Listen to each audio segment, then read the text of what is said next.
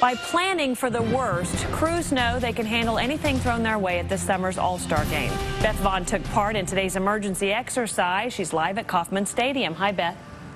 Hi, Krista. You know, 20 either cities or organizations took part in today's drill here at Kauffman Stadium. It included everything from th threats of excessive heat to rowdy crowds and even a parking lot explosion. Now, we watched this afternoon as emergency responders triaged about 90 mock patients injured in this mock explosion. The process took about 30 minutes. And once they were processed here, the information about each person's injuries was sent directly to area hospitals hospitals online. Now, if this would have happened in real life, all 38,000 fans inside Kauffman Stadium would have been evacuated, plus anyone in the parking lots.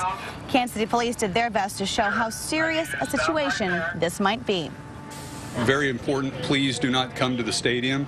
Uh, there's no benefit to, to, you coming. And in fact, please don't call uh, emergency numbers 311, 911. Uh, as you might imagine, those numbers are getting inundated with uh, requests.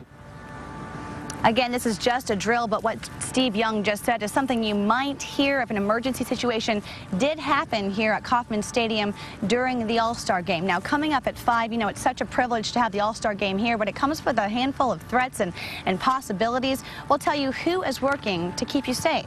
We're live. Beth Vaughn, 41 Action News.